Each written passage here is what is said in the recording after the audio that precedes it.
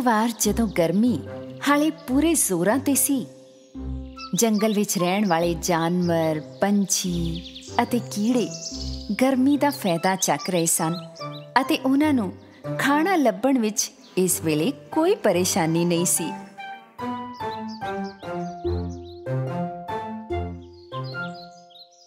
ਇਹ ਆਲਸੀ ਟਿੱਡੇ ਦੇ ਲਈ ਵੀ ਇੱਕ ਆਮ ਦਿਨ ਹੀ ਸੀ।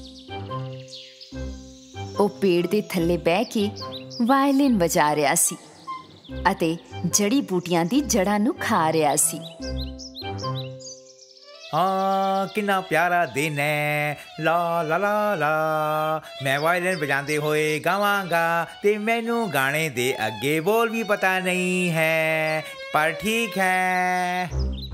ਜਦੋਂ ਕੰਨ ਠਣਕਾਣ ਵਾਲਾ ਗਾਣਾ ਉਸਨੇ ਗਾਇਆ ਤਾਂ ਉਸਨੂੰ ਇੱਕ ਸ਼ੋਰ ਸੁਣਿਆ। ਉਹ ਉਸਨੂੰ ਹੋਰ ਗੌਰ ਨਾਲ ਸੁਣਨ ਲੱਗਾ। ਇਹ ਵੇਖਣ ਦੇ ਲਈ ਕਿ ਸ਼ੋਰ ਕਿਧਰੋਂ ਆ ਰਿਹਾ ਹੈ ਤੇ ਕਿਹਦੀ ਆਵਾਜ਼ ਹੈ। ਉਹ ਛੇਤੀ ਨਾਲ ਪੇੜ ਦੀ ਟਹਿਣੀਆਂ ਤੇ ਚੜ ਗਿਆ। ਤੇ ਉਸੇ ਥਾਂ ਤੇ ਉਸਨੇ ਵੇਖੀ ਇੱਕ ਕੀੜੀਆਂ ਦੀ ਗੱਡੀ, ਜੋ ਫੌਜੀਆਂ ਦੀ ਤਰ੍ਹਾਂ ਮਾਰਚ ਪਾਸ ਕਰ ਰਹੀ ਸੀ। ਬੜੀ ਮੁਸ਼ਕਲ ਨਾਲ ਕੀੜੀਆਂ ਪੇੜ ਤੋਂ ਡਿੱਗੇ ਹੋਏ ਬੀਜ ਅਤੇ ਸੁੱਕੇ ਫਲ ਲਿਆ ਰਹੀਆਂ ਸਨ। ਨੇ ਜ਼ਮੀਨ ਤੇ ਛਾਲ ਮਾਰੀ ਤਾਂ ਵੇਖ ਕੇ ਹੈਰਾਨ ਰਹਿ ਗਿਆ। ਮੈਂ ਕਦੇ ਵੀ ਇਹਨਾਂ ਕੀੜੀਆਂ ਨੂੰ ਕੰਮ ਕਰਦੇ ਹੋਏ ਨਹੀਂ ਵੇਖਿਆ। ਉਸੇ ਪਲ ਉਹਨੇ ਵੇਖਿਆ ਕਿ ਇੱਕ ਨਰ ਕੀੜੀ ਉਸੇ ਰਸਤੇ ਤੋਂ ਆ ਰਿਹਾ ਸੀ। ਨਰ ਕੀੜੀ ਆਪਣੇ ਤੋਂ ਵੀ ਵੱਡਾ ਬੀਜ ਢੋ ਕੇ ਲਿਆ ਰਿਹਾ ਸੀ।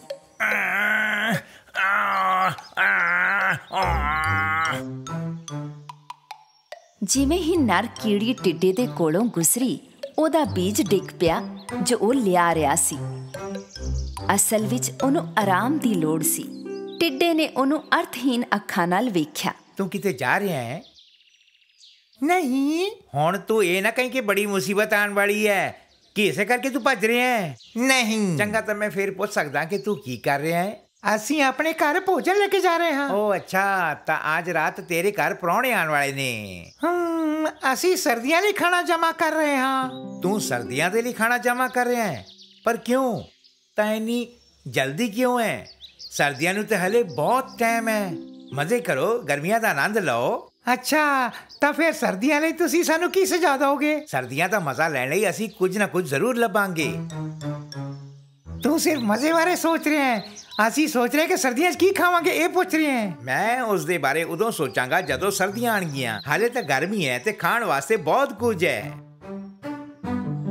ਨਰ ਕੀੜੀ ਨੇ ਆਲਸੀ ਟਿੱਡੇ ਦੀ ਬਹੁਤ ਬਕਵਾਸ ਸੁਣ ਲਈ ਸੀ ਅਤੇ ਫਿਰ ਉਹਨੇ ਫਿਰ ਤੋਂ ਬੀਜ ਨੂੰ ਆਪਣੀ ਪਿੱਠ ਤੇ ਲੱਦਣ ਦੀ ਕੋਸ਼ਿਸ਼ ਕੀਤੀ ਕਿ ਮੈਨੂੰ ਆਪਣੇ ਦੋਸਤਾਂ ਦੇ ਨਾਲ ਰਹਿਣਾ ਚਾਹੀਦਾ ਹੈ ਕੀ ਤੂੰ ਮੇਰੀ ਪਿੱਠ ਤੇ ਬੀਜ ਰੱਖਣ ਦੀ ਮਦਦ ਕਰੇਗਾ ਮੈਂ ਇੱਕ ਗਾਉਣ ਵਾਲਾ ਕਲਾਕਾਰ ਹਾਂ ਤੇ ਮੇਰੇ ਵਰਗੇ ਨੂੰ ਇਦਾਂ ਦੀਆਂ ਭਾਰੀਆਂ ਚੀਜ਼ਾਂ ਨਹੀਂ ਚੁੱਕਣੀਆਂ ਚਾਹੀਦੀਆਂ। ਟਿੱਡੇ ਤੋਂ ਅਜਿਹਾ ਜਵਾਬ ਸੁਣਨ ਦੇ ਬਾਅਦ ਨਰ ਕੀੜੀ ਨੇ ਟਿੱਡੇ ਤੇ ਇੱਕ ਦਿਲਚਸਪ ਨਜ਼ਰ ਪਾਈ ਅਤੇ ਦੁਬਾਰਾ ਆਪਣੀ ਪਿੱਠ ਤੇ ਬੀਜ ਰੱਖਣ ਦੀ ਕੋਸ਼ਿਸ਼ ਕਰਨ ਲੱਗਾ। ਮੈਨੂੰ ਲੱਗਦਾ ਕਿ ਮੈਂ ਤੇਰੀ ਥੋੜੀ ਜਿਹੀ ਮਦਦ ਕਰ ਸਕਦਾ ਹਾਂ। ਟਿੱਡੇ ਨੇ ਉਹ ਵੱਡਾ ਜਿਹਾ ਬੀਜ ਚੱਕਿਆ ਅਤੇ ਨਰ ਕੀੜੀ ਦੀ ਪਿੱਠ ਤੇ ਰੱਖਿਆ।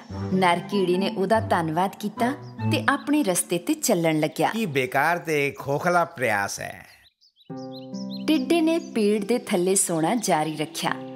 ਥੋੜਾ ਕੁਝ ਖਾ ਲੈਣ ਦੇ ਬਾਅਦ ਉਹ ਲਗਾਤਾਰ ਵਾਇਲਿਨ ਵਜਾਉਂਦਾ ਰਿਹਾ। ਓ ਕਿੰਨਾ ਪਿਆਰਾ ਦਿਨ ਹੈ। ਲਾ ਲਾ ਲਾ ਲਾ ਲਾ।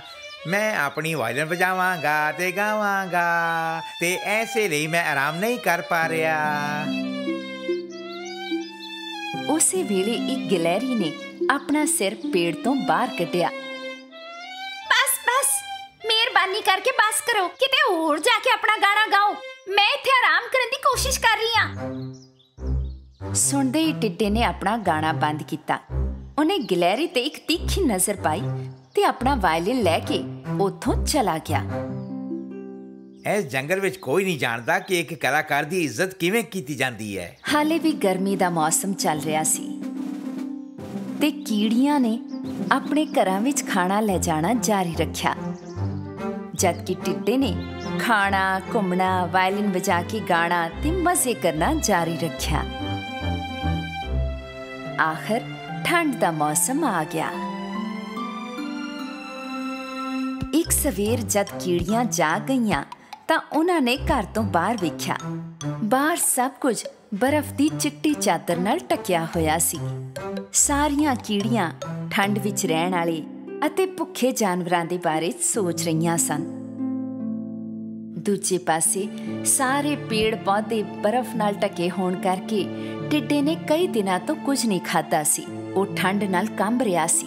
ਹੁਣ ਉਹਦੇ ਸਰੀਰ ਵਿੱਚ ਕੋਈ ਤਾਕਤ ਨਹੀਂ ਬਚੀ ਸੀ। ਉਹਦੇ ਵਿੱਚ ਵਾਇਲਿਨ ਵਜਾਣ ਜਾਂ ਗਾਣ ਲਈ ਵੀ ਜਾਨ ਨਹੀਂ ਬਚੀ ਸੀ। ਉਹ ਬੜੀ ਮੁਸ਼ਕਲ ਨਾਲ ਬਰਫ਼ ਤੇ ਚੱਲਣ ਦੀ ਕੋਸ਼ਿਸ਼ ਕਰ ਰਿਹਾ ਸੀ। ਅਚਾਨਕ ਉਹਨੂੰ ਗਰਮੀ ਦੇ ਦਿਨਾਂ ਦੀ ਯਾਦ ਆਈ। ਉਹ ਦਿਨ ਕਿੰਨੇ ਚੰਗੇ ਸੀ, ਚਾਰੇ ਪਾਸੇ ਖਾਣਾ ਸੀ, ਹਮੇਸ਼ਾ ਢਿੱਡ ਭਰਿਆ ਰਹਿੰਦਾ ਸੀ, ਮੈਂ ਕਿੰਨਾ ਖੁਸ਼ ਸੀ। ਉਸੇ ਪਲ ਉਹਨੇ ਕੀੜੀ ਦੇ ਬਾਰੇ ਵਿੱਚ ਸੋਚਿਆ, ਜਿਨੇ ਪੂਰੀ ਗਰਮੀਆਂ ਘਰ ਵਿੱਚ ਭੋਜਨ ਜਮ੍ਹਾਂ ਕੀਤਾ ਸੀ।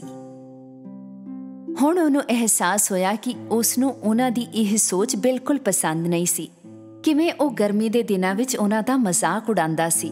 ਕੀ ਹੁਣ ਉਹ ਉਹਦੀ ਮਦਦ ਕਰਨਗੇ? ਉਹ ਇਹ ਸੋਚਣ ਲੱਗਾ। ਤੇ ਹੁਣ ਟਿੱਡੇ ਦੇ ਲਈ ਇਹ ਰਸਤਾ ਚੱਲਣ ਦੇ ਲਈ ਬਹੁਤ ਠੰਡਾ ਸੀ। ਇਹ ਕਮੰਡ ਕਰਨ ਦਾ ਵੇਲਾ ਨਹੀਂ ਹੈ। ਮੈਨੂੰ ਕੀੜੀਆਂ ਦਾ ਟਿਕਾਣਾ ਲੱਭਣਾ ਹੋਵੇਗਾ ਤੇ ਉਹਨਾਂ ਤੋਂ ਮਦਦ ਲੈਣੀ ਪਵੇਗੀ।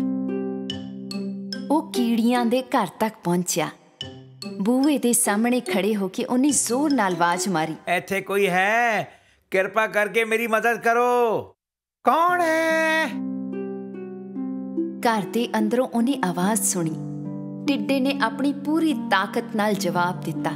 ਮੇਰੇ ਪਿਆਰੇ ਦੋਸਤ ਕੀੜੇ ਮੈਂ ਹਾਂ ਟਿੱਡਾ ਕਿਰਪਾ ਕਰਕੇ ਮੈਨੂੰ ਅੰਦਰ ਆਣ ਦੇ। ਹੁਣ ਤੱਕ ਸਭ ਕੁਝ ਸੁਣ ਰਹੀ ਰਾਣੀ ਕੀੜੀ ਨੇ ਛੋਟੀ ਕੀੜੀ ਨੂੰ ਕਿਹਾ ਕੀ ਹੋ ਰਿਹਾ ਹੈ? ਕਿਸ ਨੂੰ ਮਦਦ ਦੀ ਲੋੜ ਹੈ? ਬਸ ਇੱਕ ਆਲਸੀ ਟਿੱਡਾ ਹੈ ਜੋ ਪੂਰਾ ਦਿਨ ਬੈਠੇ ਬੈਠੇ ਗਾਉਂਦਾ ਰਹਿੰਦਾ ਸੀ। ਮੈਨੂੰ ਲੱਗਦਾ ਹੈ ਉਹ ਭੁੱਖਾ ਹੈ ਤੇ ਉਸ ਨੂੰ ਮਦਦ ਚਾਹੀਦੀ ਹੈ। ਕੋਈ ਸਾਡੇ ਬੂਹੇ ਤੇ ਆਂਦਾ ਹੈ ਤੇ ਮਦਦ ਮੰਗਦਾ ਹੈ ਤਾਂ ਉਹਨੂੰ ਮਨਾ ਨਹੀਂ ਕਰਨਾ ਚਾਹੀਦਾ। ਰਾਣੀ ਕੀੜੀ ਤੇ ਬਾਕੀ ਸਾਰੀ ਕੀੜੀਆਂ ਬੂਹੇ ਤੇ ਪਹੁੰਚੀਆਂ ਤੇ ਬੂਹਾ ਖੋਲਿਆ ਟਿੱਡਾ ਉੱਥੇ ਬਰਫ਼ ਤੇ ਪਿਆ ਹੋਇਆ ਸੀ, ਕਿਉਂਕਿ ਹੁਣ ਉਹਦੇ 'ਚ ਤਾਕਤ ਨਹੀਂ ਬਚੀ ਸੀ। ਕੀੜੀਆਂ ਨੇ ਉਸੇ ਲਈ ਉਹਨੂੰ ਚੱਕਿਆ ਤੇ ਘਰ ਵਿੱਚ ਲੈ ਕੇ ਆ ਗਈਆਂ।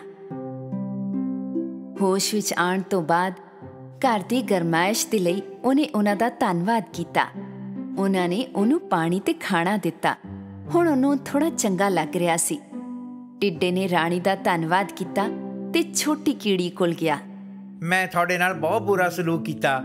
ਜਦੋਂ ਪੂਰੀ ਗਰਮੀ ਤੁਸੀਂ ਮਿਹਨਤ ਕਰਦੇ ਸੀ, ਮੈਂ ਬੈਠਾ ਗਾਣੇ ਗਾਉਂਦਾ ਸੀ। ਤੁਸੀਂ ਮੈਨੂੰ ਆਗਾ ਵੀ ਕੀਤਾ ਸੀ, ਪਰ ਮੈਂ ਤੁਹਾਡੀ ਗੱਲ ਨਹੀਂ ਮੰਨੀ। ਮੈਨੂੰ ਇਸ ਦਾ ਪਛਤਾਵਾ ਵੀ ਹੋ ਰਿਹਾ ਹੈ। ਇਹ ਤੇਰੇ ਲਈ ਵੱਡਾ ਸਬਕ ਹੈ। ਅਸੀਂ ਸਾਰੇ ਗਰਮੀਆਂ ਵਿੱਚ ਮਜ਼ੇ ਕਰਨਾ ਚਾਹੁੰਦੇ ਹਾਂ, ਪਰ ਸਾਨੂੰ ਆਪਣੇ ਭਵਿੱਖ ਦੇ ਬਾਰੇ ਵੀ ਸੋਚਣਾ ਚਾਹੀਦਾ ਹੈ। ਜੇ ਅਸੀਂ ਗਰਮੀ ਦੇ ਮੌਸਮ ਵਿੱਚ ਭੋਜਨ ਇਕੱਠਾ ਨਹੀਂ ਕੀਤਾ ਹੁੰਦਾ, ਤੇ ਸਾਡੀ ਹਾਲਤ ਵੀ ਤੇਰੇ ਵਰਗੀ ਹੋਣੀ ਸੀ। ਟਿੱਡਾ ਹੋਰ ਥੋੜੀ ਦੇਰ ਤੱਕ ਉਹਨਾਂ ਦੇ ਘਰ ਵਿੱਚ ਰਿਹਾ। ਹੁਣ ਉਹਨੂੰ ਕਾਫੀ ਚੰਗਾ ਤੇ ਸਵਸਥ ਲੱਗ ਰਿਹਾ ਸੀ। ਜਦੋਂ ਉਹਦੇ ਜਾਣ ਦਾ ਵੇਲਾ ਆਇਆ, ਤਾਂ ਕੀੜੀਆਂ ਨੇ ਉਹਨੂੰ ਥੋੜਾ ਖਾਣ ਦੇ ਲਈ ਦਿੱਤਾ। ਤੁਹਾਡਾ ਬਹੁਤ-ਬਹੁਤ ਧੰਨਵਾਦ। ਤੁਸੀਂ ਮੇਰੀ ਜਾਨ ਬਚਾਈ ਹੈ ਤੇ ਮੈਂ ਕਦੇ ਨਹੀਂ ਭੁੱਲਾਂਗਾ। ਤੇ ਅੱਜ ਤੋਂ ਮੈਂ ਕਦੇ ਆਲਸੀ ਨਹੀਂ ਬਣਾਂਗਾ। ਕੀ ਮੈਂ ਇੱਕ ਮਦਦ ਮੰਗ ਸਕਦਾ ਹਾਂ? ਜ਼ਰੂਰ, ਦੱਸੋ ਨਾ ਕੀ ਚਾਹੀਦਾ ਹੈ?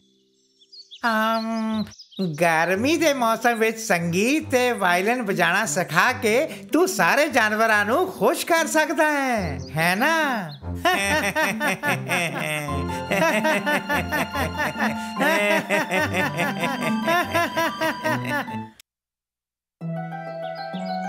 ਕਈ ਸਾਲ ਪਹਿਲਾਂ ਕਿਤਰੇ ਦੂਰ ਐਲਵਸ ਦੀ ਜ਼ਮੀਨ ਤੇ ਤਿੰਨ ਐਲਵਸ ਰਿਆ ਕਰਦੇ ਸੀ। ਇਹ ਐਲਵਸ ਚੰਗੇ ਦਿਲ ਵਾਲੇ ਸੰਤ ਬਣਨ ਦੇ ਲਈ ਤਿਆਰ ਸੀ ਅਤੇ ਹੁਣ ਨਿਕਲੇ ਸੀ ਮਨੁੱਖਾਂ ਦੀ ਦੁਨੀਆ ਦੀ ਯਾਤਰਾ ਕਰਨ।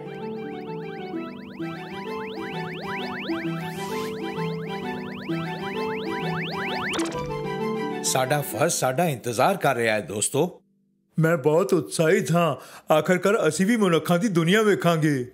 ਮੈਂ ਚਾਹੁੰਦੀ ਹਾਂ ਕਿ ਹਰ ਇੱਕ ਇਨਸਾਨ ਬਹੁਤ ਖੁਸ਼ ਰਵੇ। ਜੇ ਅਸੀਂ ਮਨੁੱਖਾਂ ਦੀ ਮਦਦ ਕਰਦੇ ਹਾਂ ਅਤੇ ਉਹਨਾਂ ਨੂੰ ਖੁਸ਼ ਕਰਦੇ ਹਾਂ, ਤਾਂ ਅਸੀਂ ਵੀ ਚੰਗੇ ਦਿਲ ਦੇ ਪਰੀ ਬਣਾਂਗੇ। ਇੱਕ ਪੁਰਾਣੇ ਘਰ ਵਿੱਚ ਇੱਕ ਬੁੱਢਾ ਆਦਮੀ ਤੇ ਉਸ ਦੀ ਘਰਵਾਲੀ ਰਹਿੰਦੇ ਸੀ। ਬੁੱਢੇ ਆਦਮੀ ਨੇ ਆਪਣੇ ਘਰ ਦੇ ਕਾਰਖਾਨੇ ਵਿੱਚ ਜੁੱਤੇ ਬਣਾ ਕੇ ਘਰ ਚਲਾਇਆ ਸੀ ਤੇ ਕਦੇ-ਕਦੇ ਉਹਨੇ ਪੁਰਾਣੇ ਜੁੱਤਿਆਂ ਦੀ ਮੁਰੰਮਤ ਵੀ ਕੀਤੀ ਸੀ। ਜੁੱਤੇ ਵਾਲਾ ਕਮਾਏ ਹੋਏ ਪੈਸਿਆਂ ਤੋਂ ਨਵੇਂ ਜੁੱਤੇ ਬਣਾਉਣ ਦੇ ਲਈ ਨਵਾਂ ਚਮੜਾ ਖਰੀਦ ਕੇ ਲਿਆਂਦਾ ਸੀ। ਇੱਕ ਦਿਨ ਉਹਨੇ ਆਪਣੇ ਕਮਾਏ ਹੋਏ ਪੈਸਿਆਂ ਤੋਂ ਚਮੜਾ ਖਰੀਦਿਆ ਤੇ ਉਹ ਲੈ ਕੇ ਘਰ ਆਇਆ। ਉਸਨੇ ਜੋ ਚਮੜਾ ਖਰੀਦਿਆ ਸੀ, ਉਹ ਜੁੱਤੇ ਦੀ ਇੱਕ ਜੋੜੀ ਬਣਾਉਣ ਦੇ ਲਈ ਕਾਫੀ ਸੀ। ਉਸਨੇ ਟੇਬਲ ਤੇ ਚਮੜੇ ਦੇ ਟੁਕੜੇ ਨੂੰ ਛੱਡ ਕੇ ਕਮਰੇ ਨੂੰ ਬੰਦ ਕੀਤਾ ਅਤੇ ਆਪਣੇ ਸੌਣ ਵਾਲੇ ਕਮਰੇ ਵਿੱਚ ਚਲਾ ਗਿਆ।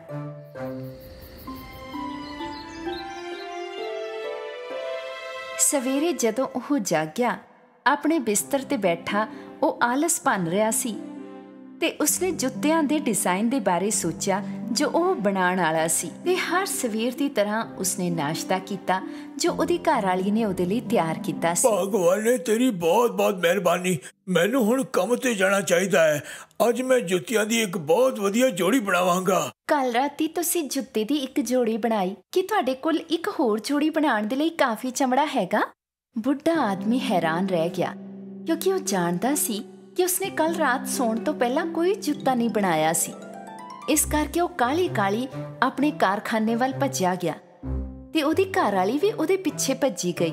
ਜਿਵੇਂ ਹੀ ਉਹਨੇ ਦਰਵਾਜ਼ਾ ਖੋਲ੍ਹਿਆ, ਉਹ ਕੀ ਵੇਖਦਾ ਚਮੜੇ ਦਾ ਟੁਕੜਾ ਜੋ ਉਹਨੇ ਰਾਤੀ ਸੌਣ ਤੋਂ ਪਹਿਲਾਂ ਟੇਬਲ ਤੇ ਛੱਡ ਦਿੱਤਾ ਸੀ ਉਹ ਹੁਣ ਬਹੁਤ ਸੋਹਣੇ ਜੁੱਤਿਆਂ ਵਿੱਚ ਬਦਲ ਗਿਆ ਸੀ। ਜੁੱਤੇ ਵਾਲੇ ਦੀਆਂ ਅੱਖਾਂ ਇਹ ਵੇਖ ਕੇ ਫਟੀਆਂ ਦੀਆਂ ਫਟੀਆਂ ਰਹਿ ਗਈਆਂ। ਮੈਂ ਜੁੱਤੇ ਕਦੋਂ ਬਣਾਏ?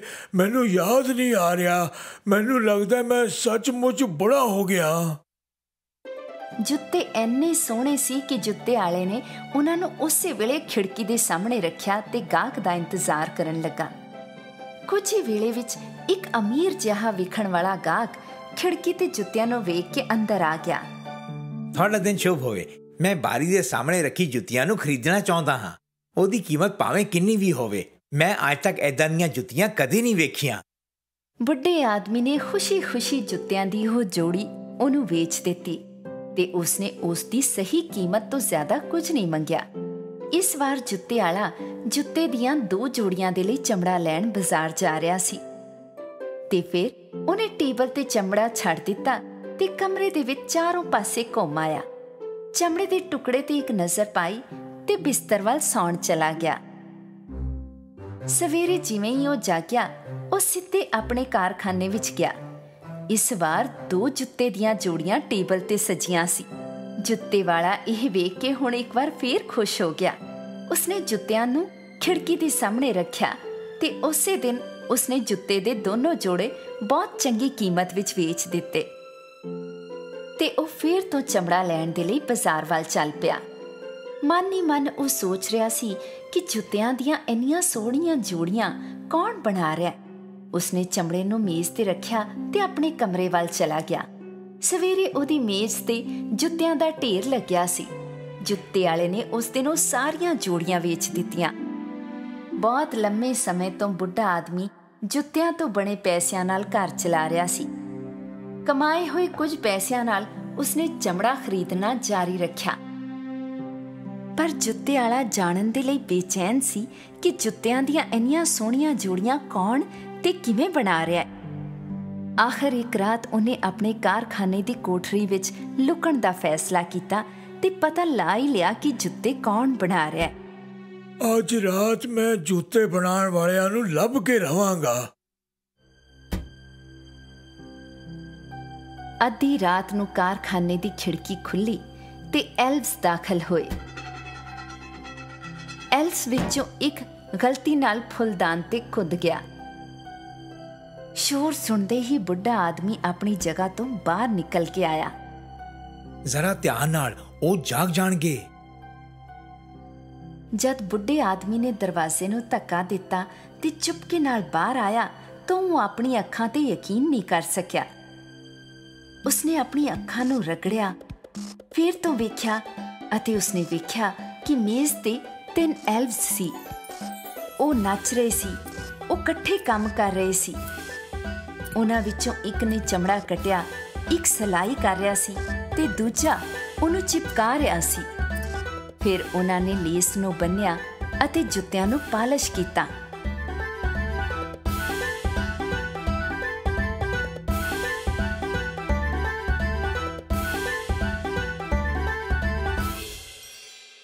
ਐਲਫਸ ਇੰਨੀ ਤੇਜ਼ੀ ਨਾਲ ਕੰਮ ਕਰ ਰਹੇ ਸੀ ਕਿ ਪਲਕ ਝਪਕਦੇ ਹੀ ਟੇਬਲ ਤੇ ਜੁੱਤਿਆਂ ਦੇ ਅਣਗਿਣਤ ਜੋੜੇ ਸੀ। ਉਹ ਸਾਰੇ ਸੋਹਣੇ ਨੇ। ਚਲੋ ਕਿਸੇ ਦੇ ਜਾਗਣ ਤੋਂ ਪਹਿਲਾਂ ਅਸੀਂ ਇੱਥੋਂ ਚਲੀਏ। ਜਿਵੇਂ ਉਹ ਆਏ ਸੀ ਉਵੇਂ ਹੀ ਐਲਵਸ ਚਲੇ ਗਏ। ਹੱਸਦੇ ਖੇਡਦੇ ਨੱਚਦੇ ਟੱਪਦੇ। ਜੁੱਤੇ ਵਾਲਾ ਆਪਣੀ ਲੁਕੀ ਹੋਈ ਜਗ੍ਹਾ ਤੋਂ ਬਾਹਰ ਆ ਗਿਆ। ਉਹ ਆਪਣੀ ਘਰ ਵਾਲੀ ਦੇ ਕੋਲ ਭੱਜਦੇ ਹੋਏ ਗਿਆ ਤੇ ਜੋ ਕੁਝ ਹੋਇਆ ਸੀ ਉਹਨੂੰ ਦੱਸਿਆ। ਤੇ ਜ਼ਾਹਰ ਹੈ, ਉਹਦੀ ਘਰ ਵਾਲੀ ਨੇ ਜੋ ਸੁਣਿਆ, ਉਹਨੂੰ ਉਹਦੇ ਤੇ ਯਕੀਨ ਨਹੀਂ ਹੋਇਆ।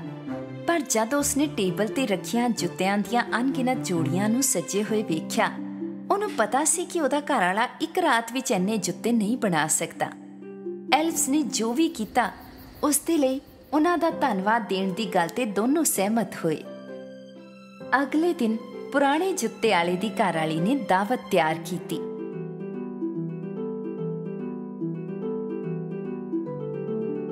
ਅੱਧੀ ਰਾਤ ਨੂੰ ਜਦ ਐਲਫਸ ਕਾਰਖਾਨੇ ਵਿੱਚ ਪਹੁੰਚੇ ਤਾਂ ਉਹਨਾਂ ਨੇ ਮੇਜ਼ ਤੇ ਦਾਵਤ ਵੇਖੀ। ਜ਼ਰਾ ਇਸ ਖਾਣੇ ਨੂੰ ਤਾਂ ਵੇਖੋ ਕਿਤੇ ਸਾਡੇ ਲਈ ਤਾਂ ਨਹੀਂ ਤਿਆਰ ਕੀਤਾ ਹੈ। ਬੇਸ਼ੱਕ ਇਹ ਸਾਡੇ ਲਈ ਹੈ ਬੇਵਕੂਫ। ਨਹੀਂ ਤਾਂ ਉਹ ਇਸ ਵੇਲੇ ਕਿਉਂ ਲਿਆਣਗੇ? ਮੈਨੂੰ ਲੱਗਦਾ ਹੈ ਅਸੀਂ ਇਸ ਘਰ ਵਿੱਚ ਆਪਣਾ ਮਿਸ਼ਨ ਪੂਰਾ ਕਰ ਲਿਆ ਹੁਣ ਅਸੀਂ ਉਹਨਾਂ ਬਾਕੀ ਘਰਾਂ ਵਿੱਚ ਜਾ ਸਕਦੇ ਹਾਂ ਜਿਨ੍ਹਾਂ ਨੂੰ ਸਾਡੀ ਮਦਦ ਦੀ ਲੋੜ ਹੈ। ਜੁੱਤੇ ਵਾਲਾ ਤੇ ਉਹਦੀ ਘਰ ਵਾਲੀ ਜਾਗ ਗਈ ਤੇ ਕਾਰਖਾਨੇ ਵਿੱਚ ਗਏ। ਉੱਥੇ ਉਹਨਾਂ ਨੇ ਜੋ ਖਾਣਾ ਰੱਖਿਆ ਸੀ, ਉਸ ਦੀ ਜਗ੍ਹਾ ਤੇ ਉਹਨਾਂ ਨੇ ਚਮਕਦਾਰ ਜੁੱਤਿਆਂ ਦਾ ਢੇਰ ਵੇਖਿਆ।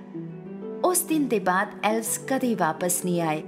ਬੁੱਢੇ ਜੁੱਤੇ ਵਾਲੇ ਤੇ ਉਸ ਦੀ ਘਰ ਵਾਲੀ ਨੂੰ ਆਪਣਾ ਬਾਕੀ ਦਾ ਜੀਵਨ ਗੁਜ਼ਾਰਨ ਦੇ ਲਈ ਕਾਫੀ ਪੈਸੇ ਮਿਲ ਚੁੱਕੇ ਸਨ। ਜੁੱਤੇ ਵਾਲੇ ਨੇ ਸੋਚਿਆ ਕਿ ਇੰਨੇ ਸਾਲਾਂ ਦੀ ਮਿਹਨਤ ਦੇ ਬਾਅਦ ਉਹਨੂੰ ਇਹ ਇਨਾਮ ਮਿਲਿਆ ਹੈ। ਇਹੀ ਕਾਰਨ ਹੈ ਕਿ ਉਸਨੇ ਜੁੱਤੇ ਬਣਾਉਣਾ ਕਦੇ ਬੰਦ ਨਹੀਂ ਕੀਤਾ। ਤੇ ਜਦੋਂ ਵੀ ਉਹਨਾਂ ਨੇ ਛੋਟੇ ਐਲਵਸ ਦੇ ਬਾਰੇ ਵਿੱਚ ਸੋਚਿਆ, ਉਹਨਾਂ ਦਾ ਮਨ ਉਹਦੇ ਲਈ ਸ਼ਰਧਾ ਨਾਲ ਭਰ ਗਿਆ।